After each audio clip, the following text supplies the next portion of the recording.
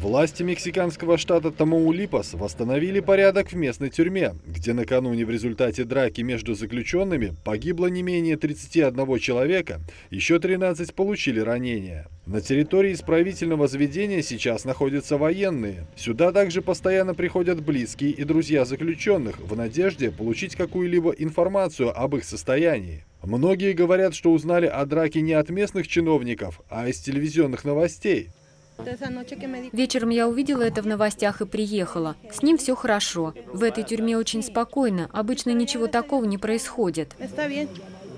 Как предполагается, драка началась между представителями противоборствующих наркокартелей. В потасовке использовались ножи и самодельное оружие.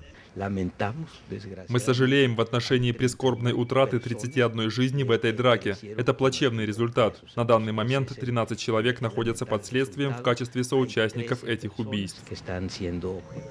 На данный момент расследование продолжается. Подобные драки в тюрьмах Мексики не редкость. Так, в прошлом октябре в ходе потасовки в другом исправительном заведении этого же штата погибло 20 заключенных, а в июле в тюрьме города Сьюдад-Хуарес 17 заключенных.